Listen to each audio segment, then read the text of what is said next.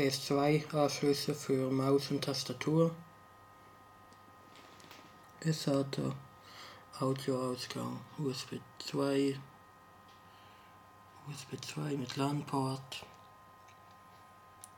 GTX 280, SSD und eine Soundkarte, GTX 280, nicht.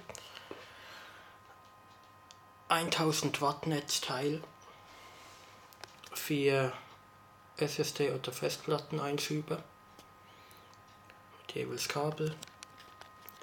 Da haben wir noch zwei Laufwerkeinschübe.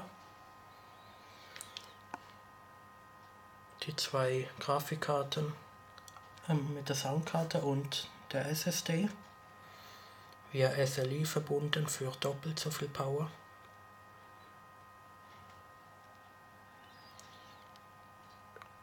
Die Wasserkühlung für den Prozessor und den Chipset. Chipsatz.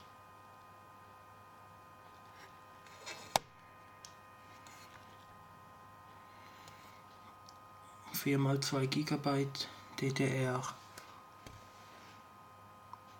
2 ich glaube 1066 Megahertz.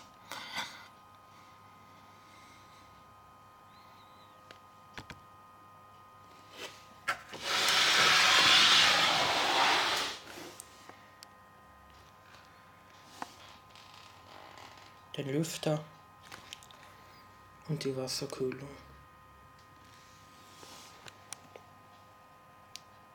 Ein- und Ausgänge.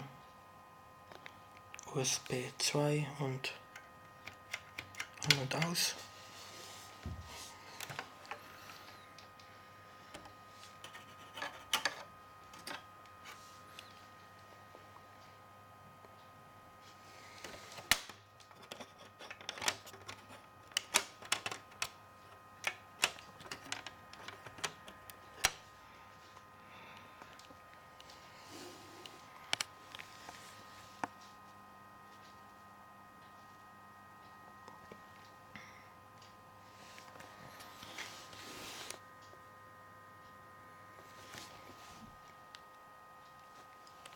Liken und kommentieren.